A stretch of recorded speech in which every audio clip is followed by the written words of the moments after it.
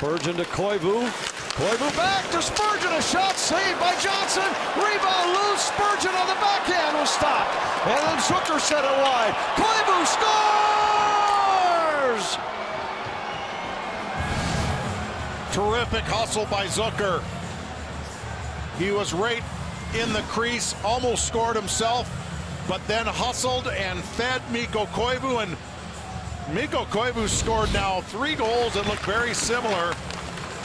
They're all out in the slot area. Some were deeper, but the good battle right here by Zucker, and then he was smart enough to find Mikko Koivu, who just unloads on one and rings the bell as it goes in the net. So great forecheck there. Terrific follow-up by Zucker and Mikko Koivu is starting to find the net more frequently here as he once again banks one off the post and into the net. Six points in the last six games for Koivu.